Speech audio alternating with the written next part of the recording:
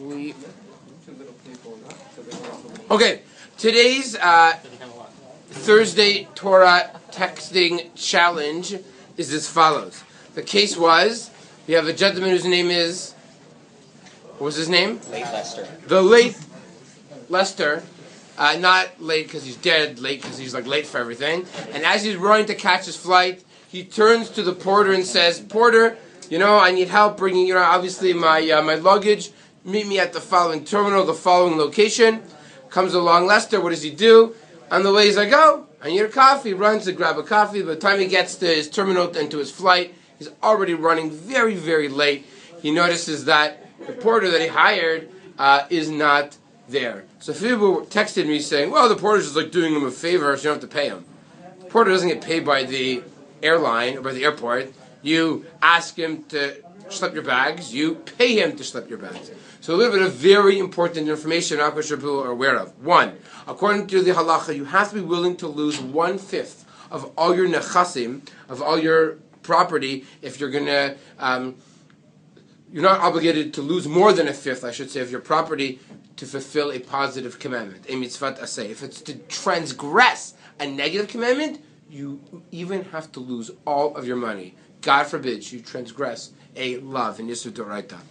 If you, uh, how about if it's passive? Meaning, how about if you passively don't do anything, transgress a negative commandment? That is basically treated like a positive commandment. So says the Shulchan Aruch. Now, what happens if you don't pay a worker on time? You hire someone, gentlemen and ladies, if it's to fix your car, if it's to fix your suit, if it's to fix your whatever it is, not paying a worker on time, you transgress one positive commandment, the mitzvah asay of b'yomo titen s'charo, and five lavin in the Torah.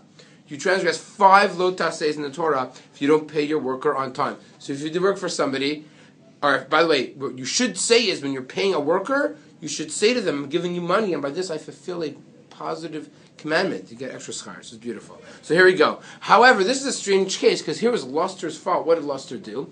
Luster decided, so I'm going to go get a cup of coffee. He should have instead gone to the point that they decided and met the porter and paid him money that he deserved.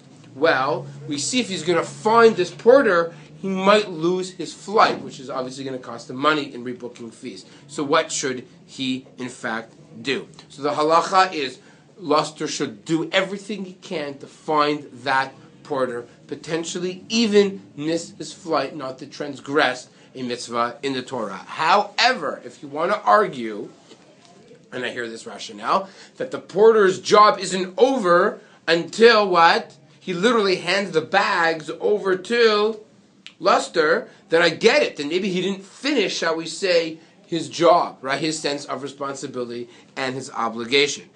Um, if for sure the porter ran out of the building, you know what I mean, and he went to do, he left the building, he left somewhere, you'd not be obligated necessarily to chase after him. But if the porter is actually looking for Luster because, hey, where'd he go? Where'd he go? You'd actually would have to somehow, exactly how you could discern that, I'm not 100% sure, but you have to do whatever you can to try and find that porter to pay him the money. What about if you say, you know what, I'm going to go on an airplane, I'm going to take the flight anyways. What do you do? So you'd have to try everything you can to eventually pay him back. And if you can't pay him back, you would actually, according to the Siman Shin, uh, Samech Vav in Choshen Mishpat, you'd have to take the money and give it to at least Tzorche Rabim, but you'd not be allowed to keep that money. That is our uh, Thursday texting Choshen Mishpat challenge of the day, and the winner uh, will receive the an announcement. They'll be notified over text, and then we'll tell everybody else over uh, other various multimedia things. One could argue that. Yeah, and I just That not the